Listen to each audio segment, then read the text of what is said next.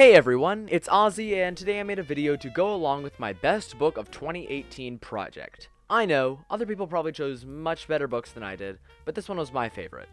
Also note that I was going to make a video with me actually on camera, but my camera ran out of battery, so that didn't really work. But that doesn't matter, because at least I made something. My project is about Wikinomics by Anthony D. Williams and Don Tapscott. If you couldn't already tell, this book is informational, because, you know, that's kind of my thing. Anyway, Wikinomics is about a business model that uses the public to solve the company's problems. A good example is Wikipedia. All the information Wikipedia contains is from its users. Whether you're an expert from a university or you live in a small apartment somewhere in New York, you can contribute to the world's largest online encyclopedia. This has helped failing businesses like Goldcorp rebuild themselves and turn them from a $100 million business to a $9 billion business. Goldcorp had just bought a new property in Red Lake, Ontario, when they realized they didn't know where to dig.